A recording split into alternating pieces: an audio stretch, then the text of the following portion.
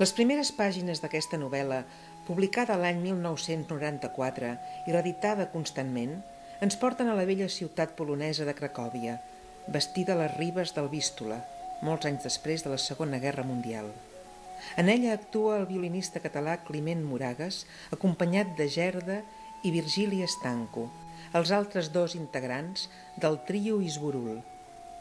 Seguint les paraules de Climent, ens passegem per la plaça Major de Cracòvia, la Rine Gufne, presidida per la impressionant església de Santa Maria, la torre de l'Ajuntament i l'estàtua del poeta polonès Adam Mickiewicz, amb les torres del castell de Babel que es retallen en l'horitzó.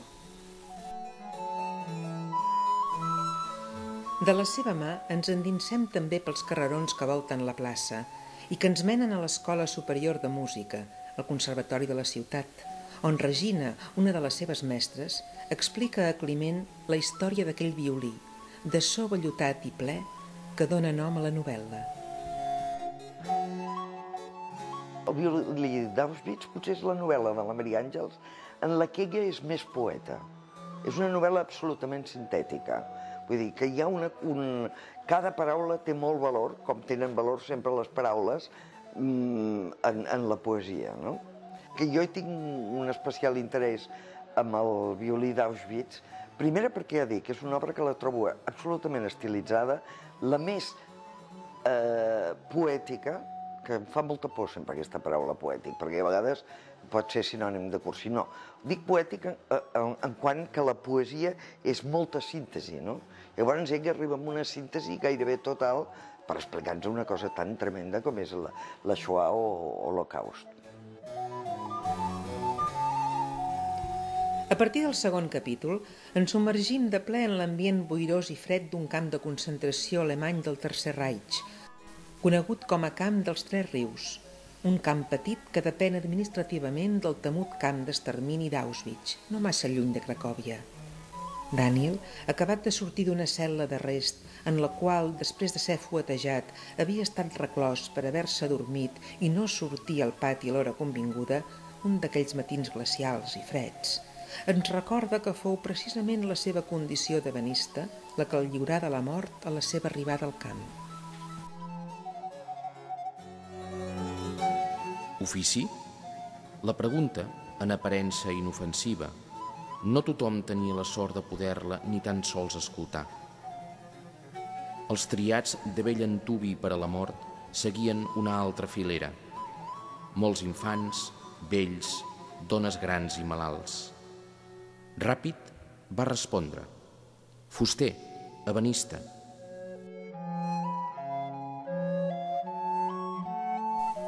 La situació dels presos no millorà ni tan sols amb l'arribada del bon temps. Aquella primavera els camps floriren sobre l'adob de milers de morts i quan els dies s'allargaven es feien més vistents que mai en el cos dels presoners les marques escandaloses de l'esclavitud. Els rostres demacrats a les rengleres, les ombres violades sota els ulls, les robes velles amb els rectangles ominiosos, sobretot el groc, els senyals dels cops i les cicatrius en algunes cares. Les condicions de vida en el camp són realment inhumanes, horaris de treball inacabables, pràcticament sense descans, tret de l'hora de dinar, reduït a una igualida sopa de naps i un bocí de pa de sègol, manaven Daniel al caire de l'extenuació. Per sobreviure a aquell horror, Daniel s'aferra al record dels temps feliços al seu taller de Cracòvia, enmig de l'olor de coles i vernissos, entre tot de peces sense obrar, tallades per a futurs instruments, i a les poques notícies que rep de l'exterior de boca de Freund, un mecànic del seu mateix carrer que posen al costat de la seva llitera en uns barracons no menys freds ni inhumans.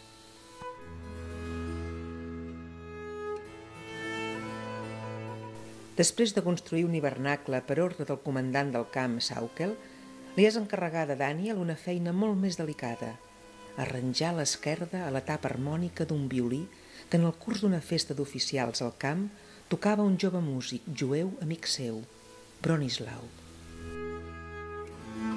Era, una altra vegada, ell mateix. No un número, no un objecte de befa. Era en Daniel, d'ofici violer. No es recordava, en aquella estona, de res més que no fos la seva tasca, el seu orgull. Havia oblidat fins i tot la gana i els ulls brillaven d'atenció precisa. Posades a prova les seves habilitats, s'inicia la gran prova que determinarà el destí final de Daniel, la seva salvació o la seva mort, com tants altres companys eliminats de les maneres més abjectes.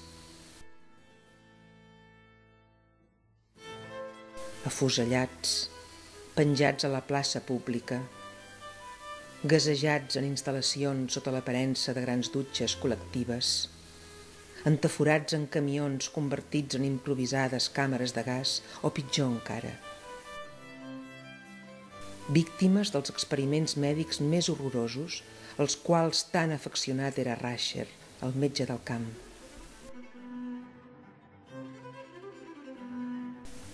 Una colla d'atrocitats que porten a un únic inevitable destí – els forns crematoris.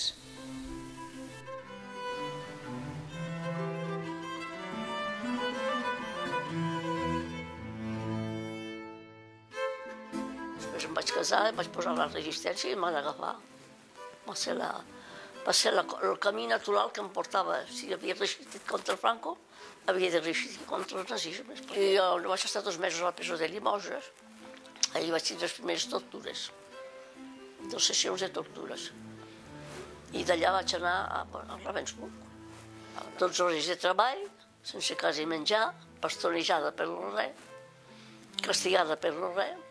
O a les 3 del matí tocava la sirena, a les 4 havies d'estar preparat, haver esmorzat allò que tenia d'esmorzar, un, un, un quart de, de líquid calent, que tenien que era cafè, no era cafè, i a, i a formar de seguida davant de la porta i d'allà cap dalt a la Pel, a la Pel Prats, a la plaça del, del Recompte. Llavors eh, te mataven treballant molt, pegant-te, però ja no t'eliminaven sistemàticament perquè aquella mà d'obra que estava a morir-se la necessitaven. I penso que és això que ens va salvar amb algunes. Daniel, si vol salvar la vida, haurà de construir un violí que soni com un Stradivarius i ho farà en les condicions més adverses, amb una meticulositat exemplar. Abans de començar a construir l'instrument pel qual Saukel i Rasher s'han jugat una caixa de vida Borgonya, ordena les eines i els materials que necessitarà, confiscats segurament del taller d'algun lutier jueu, potser ja mort, assassinat. Mentre es lliura aquesta feina de selecció i ordenació, l'assalten els records del seu ofici, dut a terme durant tants anys d'una manera rutinària al seu taller de Cracòvia. On era aquella quietud, l'ordre càlid del seu taller, els rengles de violins penjats al sostre, l'escalfor coneguda, la veu de la seva mare que cantussejava dalt, tot feinejant, la mare morta de tuberculosi i de gana al gueto. De primer comença per tallar les dues peces que formaran la tapa del violí i a polir-ne i rebaixar-ne l'interior. Seguidament, dibuixa i talla el perfil del mànec, amb la forma arrodonida del cap. Afegeix la barra harmònica i la tapa. Hi col·loca l'ànima i finalment l'envernissa i hi fixa les cordes. El violí és acabat com una flor nascuda enmig d'un femer i el seu so perfecte, posat a prova pel seu amic Bronislau amb la interpretació de la follia d'Arcangelo Corelli, el lliure tant a ell com a Daniel de la mort.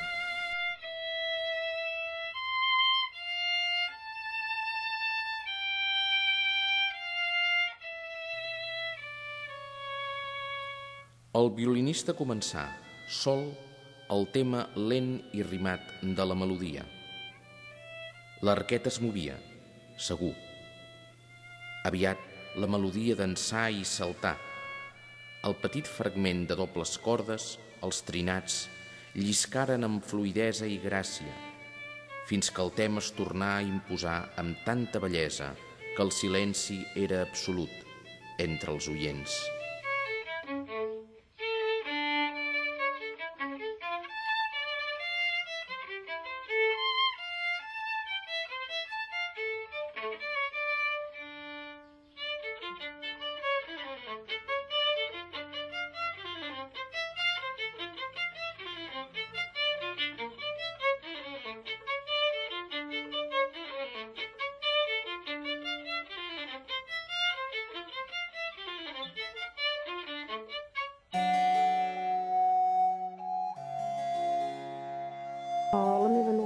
Molt diferent. La llista de Schindler, eh, el títol de la novel·la era L'Arca, és més aviat una cosa general i èpica. I jo, en canvi, l'he concentrada en un punt, és la història d'un luthier, un constructor de violins, que és un jueu polonès, i és una petita història sobre la dignitat humana amb el fons de l'Holocaust. Uh -huh. I passa, eh, el primer títol era el violí del camp 3 perquè no passa en el gran camp d'Auschwitz-Birkenau, sinó en un dels camps més petits que depenien del mateix comando. La vaig començar l'any 1992 i em sembla que va ser per un tema que fa poc que ha sortit, que és el racisme que torna a rebrotar un xic per tot. Eh, des de negres apallissats fins a la neteja ètnica que practiquen els serbis, fins a cementiris jueus profanats a França, etc. Me'n recordo que jo estava fent una altra cosa, eh, estava fent un poema i vaig sentir després les notícies, segurament les de TV3, que parlaven de guerra i de racisme. I aleshores mm, em va venir l'idea d'escriure eh, sobre aquest, aquesta tragèdia de la nostra època.